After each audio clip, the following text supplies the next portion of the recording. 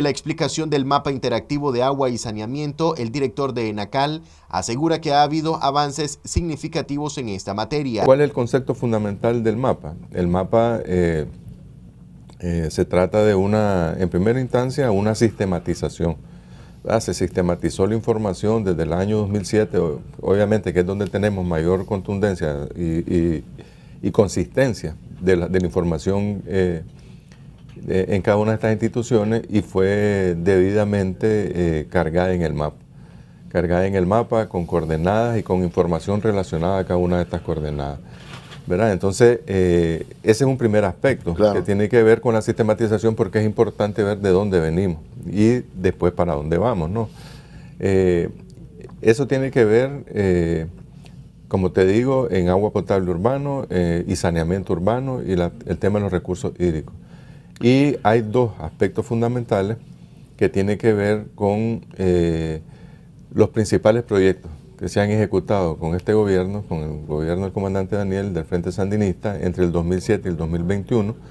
Pero además de los proyectos que se han ejecutado, es la información relacionada alrededor de estos proyectos, ¿no? Este, cuántas familias atendimos con ese proyecto y eh, los principales componentes desarrollados en cada uno de estos proyectos es importante, consideramos nosotros, para nuestra familia, eh, para también un tema de, control social, ¿no? en nuestro modelo, ¿no? Nuestras familias tienen un rol preponderante en todo este en toda esta dinámica que llevamos, ¿no? De, avance eh, en rutas de restitución de derechos.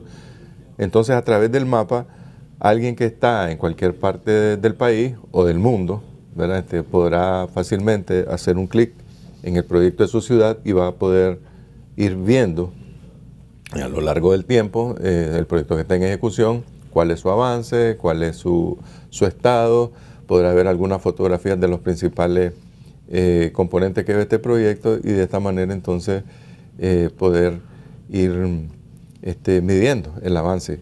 Señala además que se prevén más proyectos de agua potable en varias zonas del país y que incluso ya cuentan con el financiamiento necesario.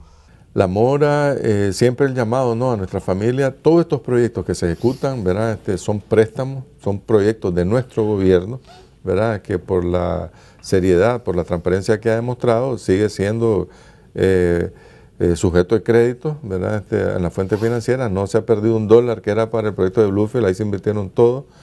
Y el llamado a nuestra familia es que el proyecto, una vez que finaliza, ese proyecto tiene que ser sostenido con lo que se recolecta de la factura hacer el llamado.